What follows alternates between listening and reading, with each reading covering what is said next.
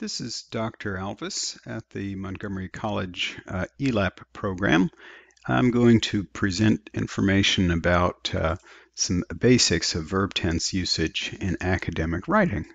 These are some uh, details that can help you uh, figure out how to produce uh, uh, clearer ideas with more accurate grammar when you are writing for college and, and afterwards. first, now English has 12 verb tenses. You can see them in the table here. These uh, simple, perfect, progressive, and perfect progressive tenses with past, present, and future. And uh, I'm sure you've spent time learning all of these, but you've realized that not all of them are very common. You know, for the future perfect progressive, not very very common verb. These uh, and so really, what's essential in academic writing are the simple tenses: the simple present, simple past, simple future, and uh, the present perfect also is statistically very common. And so being able to focus on these verb tenses can help you produce more accurate writing rather than worrying about this full range of verb tenses. Some of these other ones are important, of course, but statistically, this is what you must learn to control with accuracy. And the good thing is these are simple tenses. Uh, they don't have complex verb forms. So let's consider some of the functions of these uh, common four verb tenses. So the simple verb, uh, simple present tense there is a basic way to state facts that are true in general. I'm sure you know this, not only in the present. So it doesn't mean that they are happening now. It could be in the past, present, or future in terms of the idea. So smoking increases rates of lung cancer. That was true in the past, present, or future, right? So this is just factual information. And we use the simple present tense for that. A great deal of academic writing includes that.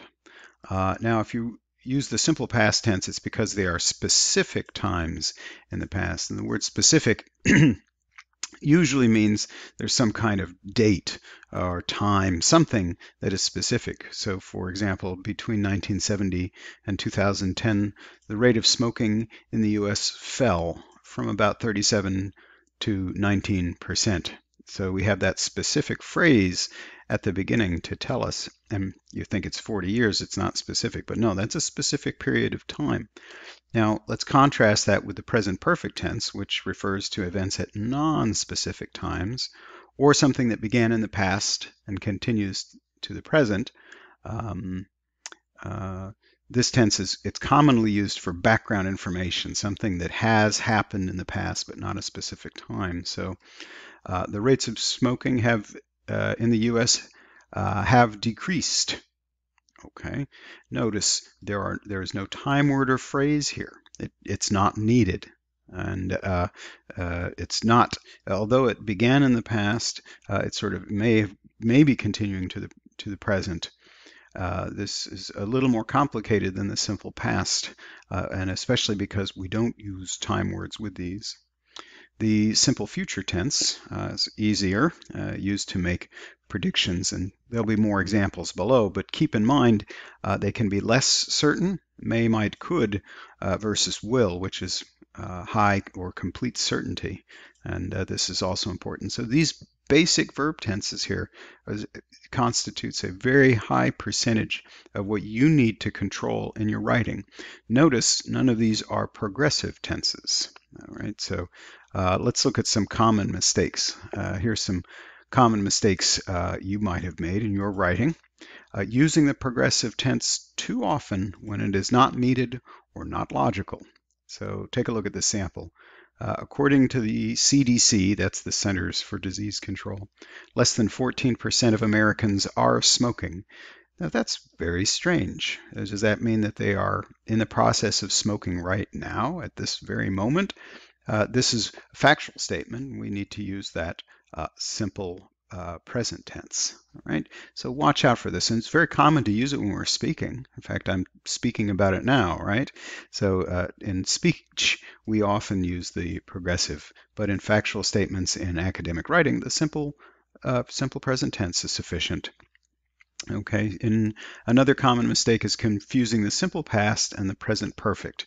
They are similar. They both happened or at least started in the past, Uh, in 1970, about 37% of Americans have been smokers. Well, that's not logical. Okay, 1970 is only in the past. That's it. It is not related to the present, or it's not connected to the present. So uh, it needs to be simply were. And this is very common. I've seen this many times in, in student writing confusion of these two. Another common error is overusing the past perfect. So in, in 1970, about 37% of Americans had been smokers, and it's in the past, but uh, when you use had been, that means it was before 1970, but clearly it is in 1970. So had been is not acceptable. It still were. All right. So these are two common mistakes. Uh, which have you made? Confusing predictions uh, with hypothetical statements. Now, prediction uh, is uh, basically something associated with the future tense, right? And a hypothetical uh, is something that's more associated with the uh, use of would. It's hypothetical, imagined, unreal. Uh, some medical researchers predict that smoking would decrease in the future due to several factors, and that's that's strange because it's a uh, indicates an unreal situation. This is a prediction. All right, will and but let's add that little hedging word probably. I'll mention what the hedging word is a little bit later. Right, so watch out, separate would and will. It's not that hard, but it sometimes happens because in spoken English, we use would in, in a variety of ways that we don't use uh, when, we're, when we're writing. All right, on the progressive, uh, a note, progressive tenses need only be used when an action is truly in progress. Okay, so uh, today schools are providing students with knowledge about the risks of smoking and vaping, and it's it's okay. That's fine. It it this person wants to emphasize this. The writer wants to emphasize that it's in progress. Since the 1970s, the U.S. rate of smoking has been falling rapidly. Uh, those are both fine. Nevertheless, both of these sentences would still be logical and accurate in the simple tenses. So uh, provide and uh, has fallen. All right. So this is, uh, you know, do you need it? Do you need uh, to use the progressive? It's it's only for certain circumstances, certain emphasis. Uh, the past perfect is a difficult tense to master. It is uh, used less frequently than the other four tenses, but there are some important functions, and these include uh, you, uh, describing past events before other past events. That's what the function is of it, basically. By 1990, uh, the uh, rate, smoking rate in the U.S. had fallen to 25%.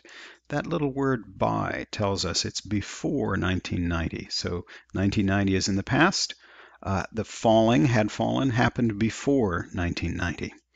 Another common technique, a common reason for using it is reporting information in which the person speaks in the past and talked about something which happened before the speaking. So first uh, we have the decrease, uh, uh, the decrease there. It had decreased. Uh, that was before the claim. So the claim was in the past and this is in the past. Uh, the original statement would have been uh, smoking rates maybe have decreased, and it becomes had decreased in the reported information, reported speech. Third is past unreal hypothetical statements, and that's uh, things like would, could, might. Uh, these are tough. if more information about the risks of smoking had been made, uh, the, the rates in the past might have been much lower. These are not too common, but these can be used in, uh, in a uh, what we call case studies and discussing uh, or writing about a situation that happened in the past and imagining what might have happened if something else had been the case. Uh, tough, but that that's what happens. Uh, the future is generally simple, and and uh, in addition to will, uh, we can use may, might, could uh, for these. And so uh, in this case, e-cigarettes and vaping devices may increase the rates of nicotine consumption. And so will is a strong prediction, but uh, we have to uh, be tentative and hedge a little bit. Now we have to separate those from hypothetical statements with instead of will, may, could, might, the would, could, might used to express uh, hypothetical ideas. And let's look at a, a couple of examples. You might just be discussing imagined situations, whether they are past, present, or future. Uh, if smoking were harmless, more people might smoke. Notice how we use that past tense verb there uh, and wa- were instead of was for formal writing. Uh, here's a past situation, had not done. Here's that past perfect we need here. If uh, medical scientists had not done sufficient research, we would be less clear about the effects of smoking. And this sentence contains both past and present hypothetical situations. This is past, this is present, uh, but uh, we, they're both in the past tense to indicate it is hypothetical. And we sometimes provide hypothetical examples. Here, for example, if prices of tobacco were raised by 10%, the uh, rates of smoking would, and let's add a little hedging word, likely decrease by 3 to 4%. Okay, so we're using that and adding that little hedging word. And we sometimes ask rhetorical questions. What would happen if smaller numbers of Americans smoked? All right. Uh, there's a quick note here about using the uh, past or past perfect tense with the in the if clause, but the modals uh, uh would, could, or might uh, occurs in the main clause. All right. And uh, Let's look at that hedging there. Hedging words are words that reduce the degree of certainty because reality in the world, uh, things are not always certain. And we cannot always say all people, but rather many or some people. We can't say they always or never do it, but rather frequently or rarely. This is academic expression, and you do need to learn to use this kind of language for certain kinds of statements. So instead of Americans do not smoke, uh, Americans tend not to smoke or Americans rarely smoke. So when you're thinking about verb tenses, don't forget to consider these hedging terms. Uh, instead of smoking rates in the US will fall in the future, it's impossible to predict that. Uh, will probably fall in the future. We can guess, and using that word probably means I am making a guess, or I might use the word may, or are likely to. These are all useful hedging words. Okay. Um, Okay, finally, it is impossible to remember all of these details, but try to keep these ideas uh, in mind. Okay, uh, focus on the simple verb tenses. Okay, the simple past, present, and future. Uh, present and past, especially, uh, those are the, the very, very frequent uh, verb tenses you need to, and it makes life easier when you focus on these and, and don't get confused by the perfect and progressive tenses. Those make that makes confusion. Okay, consider the functions of these tenses, and this list here. Are you stating facts? Simple present. Are you describing history? Simple past. Are you giving background information? Present perfect tense. Are you making predictions? Simple future. Are you stating hypothetical situations? Use would, could, might in the past tense. This right here, if you can get that information and under control, you've got about 90% of, of what you need in your college writing. Uh, don't forget that hedging language. Okay, there are various places to look for these things. And uh, notice verb tenses when you read academic texts and imitate that style. Oh, finally, I will mention the developing details card uh, has a number of sections on verb tenses and verb form, sections two on verb tenses, also uh, five on passive voice, and seven on uh, conditionals.